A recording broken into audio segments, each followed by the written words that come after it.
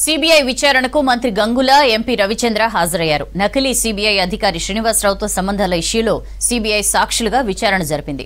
విచారణ ముగిసిన తర్వాత మాట్లాడుతున్నారు. లైవ్ చూద్దాం. నాకు నోటీస్ ఇవ్వడం జరిగింది.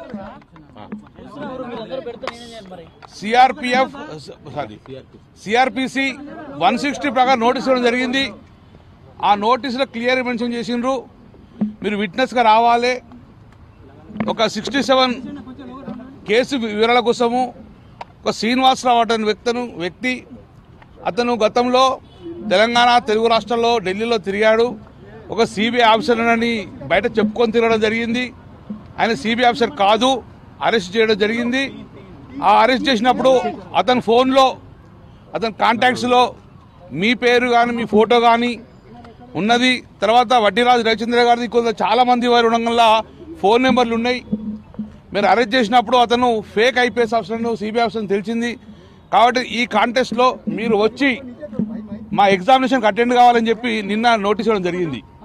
ఒకటే రోజులో నోటీస్ ఇవ్వడం వలన మేము టైం తీసుకోవాలి ఎందుకంటే మేము చట్టాలను గౌరవిస్తాం. చట్టం మీద నమ్మకం ఉంటుంది మాకు న్యాయస్థానం మీద నమ్మకం ఉంటుంది కాబట్టి వారు ఇచ్చిన టైంకు కరెక్ట్ లెవెన్ ఓ క్లాక్ అంటే five minutes to eleven o'clock వరకే ఇక్కడ రావడం జరిగింది. వారికి పూర్తి వారికి సహకారం ఇచ్చినాం. పొద్దుటి నుంచి లెవెన్ ఓ క్లాక్ నుంచి ఇప్పటి వరకు సుమారు ఎనిమిది ఎనిమిదిన్నర గంటలు క్లియర్గా వాళ్ళు ప్రతి ఒక్క క్వశ్చన్ అడిగారు. వాళ్ళు కలెక్ట్ చేసిన డేటా మొత్తం కూడా మా ముందు పెట్టారు. వాళ్ళు వాళ్ళు ఏ ఏ సీసీ కెమెరాలో ఎవరెవరున్నారు ఏం మాట్లాడి అనేది మేము చెప్పింది మొత్తాన్ని కూడా రికార్డ్ చేసుకున్నారు. మేము మమ్మల్ని మా బావగారిని కూడా వేరు వేరుగా అడిగారు. మొత్తం యాజ్గా ఒక్కటి కూడా ఒక్క తప్పు చెప్పకుండా తప్పును ఏ- ఏది కప్పిపుచ్చుకోకుండా ఉన్నది ఉన్నట్టుగా చెప్పడం వాస్తవం. ఎందుకంటే మేము ఇక్కడ తప్పు చేయలే కాబట్టి తప్పు చెప్పొద్దని కరెక్ట్ చెప్పడం జరిగింది. వారు టాలీ చేసుకోవడంగా కరెక్ట్ అది అయింది. అది వన్ సిక్స్టీ వన్ స్టేట్మెంట్ కూడా రికార్డ్ చేసుకున్నారు. మళ్ళీ ఇమీడియట్గా విట్నెస్ పిలిచారు. ఒక ఎస్పీ గారు ఇద్దరు ఇన్స్పెక్టర్ల పర్యవేక్షణలో మా ఎగ్జామినేషన్ జరిగింది. ఇమీడియట్గా ఎవరైతే కల్ప్రిట్ ఉండో అక్యూజ్ ఉన్నాడో అతన్ని కూడా పిలిచారు. అతను శ్రీనివాసరావు కూడా పిలిచారు. మమ్మల్ని గుర్తుపట్టామంటే గుర్తుపట్టారు. ఆ శ్రీనివాసరావును కలిసింది ఒక వన్ వీక్ బ్యాక్ ఒక మున్నూరు కాపు సమావేశంలో కలవడం జరిగింది. ఒకటోసారి రెండోసారి రెండుసార్లే కలవడం జరిగింది. అతను ఒక మున్నూరు కాపు బిడ్డగా అతను ఐపీఎస్ ఆఫీసర్ గుర్తించింది తప్ప కానీ ఏ రోజు ఆయనతోటి లావాదేవీలు చేయాలనే ఆలోచన మాకు ఎవరికి రాలే. అదే చెప్పడం జరిగింది.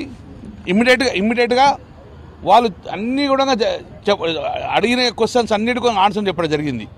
సేమ్ ఆ శ్రీనివాసరావు కూడా అడిగారు. నిజమేనంటే వారు చేసిన క్రాస్ చెక్ చూడంగా సేమ్ ఏం లేదు. నేను కాపు సంఘం కోసం వచ్చడం జరిగిందని చెప్పి చెప్పడం జరిగింది. టోటల్గా స్టేట్మెంట్ మొత్తం రికార్డ్ చేసుకోవడం జరిగింది. They all are satisfied with both version సంతకాలు తీసుకున్నాడు వారు పంపించడం జరిగింది. మళ్ళీ సార్ మళ్ళీ రమ్మని చెప్పారు. మళ్ళీ మ- Final. మళ్ళీ రమ్మని చెప్పలేదు. ఇదే ఫైనల్ అని చెప్పారు క్లియర్గా. మేము సహకరించకపోతే మళ్ళీ రమ్మంటుండే కావచ్చు. కానీ యాజ్ ఈజ్గా మేము ఎవరైనా తప్పు చేయలేదు కాబట్టి క్లియర్ క్లిస్టర్ క్లియర్ ఉన్నాం కాబట్టి వాస్తవంగా ప్రభుత్వానికి చట్టానికి సహకరించాలని చెప్పి యాజ్ ఇట్ ఏం జరిగిందో అవన్నీ చెప్పడం జరిగింది.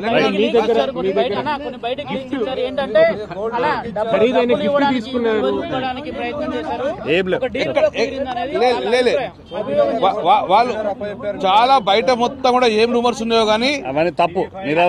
అక్యూజ్డ్ ఉన్నాడు ముందట విక్టిమ్స్ ఉన్నారు. ఆఫీసర్స్ ఉన్నారు. అందరి ముందట ఎగ్జామ్స్ జరిగింది. ఆ ఎగ్జామ్స్ క్లియర్గా ఎక్కడ కూడా బ్రైబ్స్ లేవు గోల్డ్ ఇచ్చినట్లేదు ఎక్కడ జరగలేదని చెప్పి క్లియర్ యూ ఏ సందర్భం మా ముందు పెట్టారు.